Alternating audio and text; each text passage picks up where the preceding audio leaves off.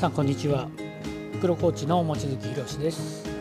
今日は練習場の正しい、えー、利用の仕方、えー、いわゆる練習のやり方ですね。こちらについてご紹介したいと思います。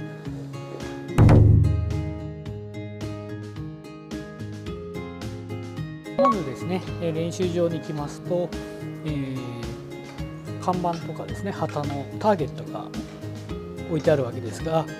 これらはですね、えー、何のためにあるかというと、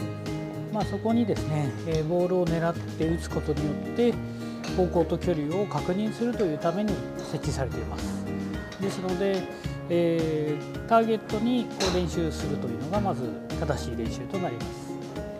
す。しかしですね、えー、練習場に来てよく見かけるのがこのマットの線ですね。これに向かってこう練習している方が非常に多いんですね。でこれによって、えー、このターゲットに対しての、えー、方向を合わせる作業ですね。これが一つ欠けてしまっているのと距離を合わせるという作業。これが、えー、2つ目に欠けてしまうと。でこれによってですね自分のクラブがどのぐらいの距離が出るか、えー、ボールが落ちるまでの距離を把握できなかったり、えー、方向も向きが合ってるかどうかそういったものも確認しにくくなりますので、え、かなりですねコースに行った時に果たしてこのクラブで池を越えるのかどうかなとか不安が襲ってきます。ですから必ず、えー、距離を測るっていう部分を重視して、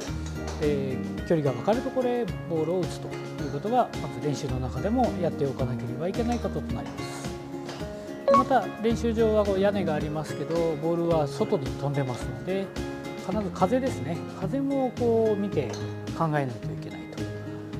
でえー、風なんですが、まあ、ネットのですねこの傾く、ね、方向などを確認すると、えー、分かりやすいですから、えー、左のネットが膨らんでいれば左から風が来てるとか天井にぶら下がってるネットが、え、こちらに向かってるんであれば向かい風とかそういったのもですね、え、考えながらターゲットに打っていく必要があります。次に打ち始めなんですが打ち始めはですね、えー、サンドウェッジなんからこう始めていくということになりますがまず、まあ、このクラブがですね、まあ、スイングを作る上で重要な練習器具となりますので、まあ、これはまた別の動画でですね、えー、説明していきたいと思うんですが、えー、このサンドウェッジから始めて、えゆっくり小さいスイングですね、はい、これから始めていきます。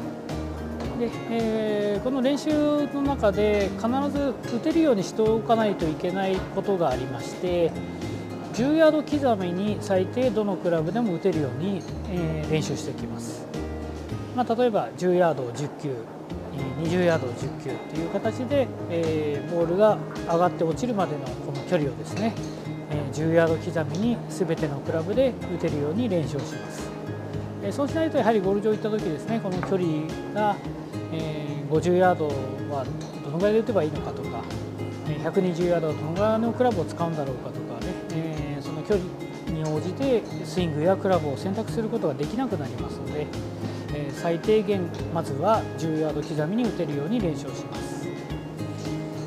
でそれからまあ短いクラブで、え打ち始めてですね、え例えば長い番手に変わった時ですね長い番手に変わっても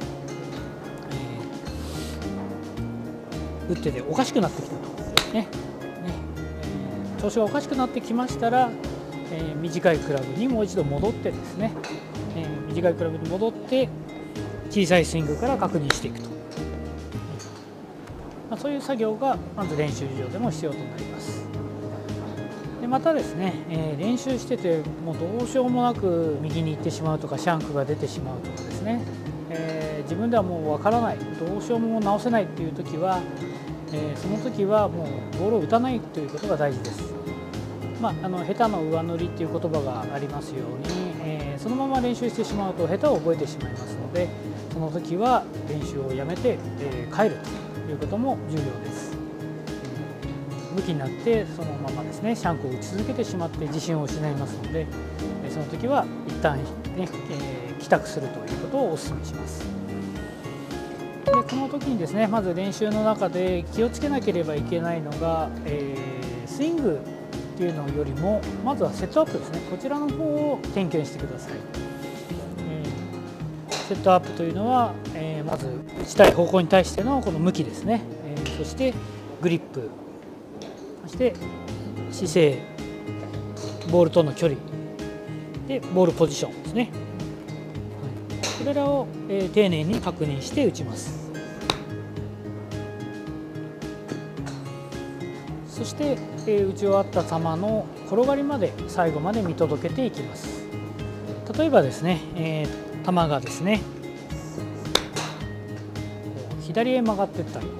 もしくは左へ転がっていったと、の時に、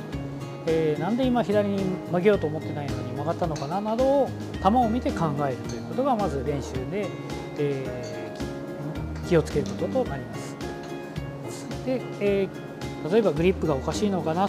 というふうにグリップを点検して打って直ればグリップの持ち方の原因だったと分かりますし、えー、必ずですねすぐに、え、ミスの原因をスイングの方に持っていかないということですねセットアップをまず確認してから後からスイングを確認すると。この順番で、え、点検をしてください。また、えー、セットアップを確認してない方はやはり打つペースが速いですし、えー、点検がおろそかになりますので、えー、セットアップはゆっくり丁寧にこうですねやっていきまして球の飛び方を見て、えー、それからまた考える時間もあってということで、まあ、続けて連続してですねボールを打ってしまうと何も、えー、考えてないということになりますのでそれだけは、えー、避けてですね1球ずつ丁寧に練習していきましょう。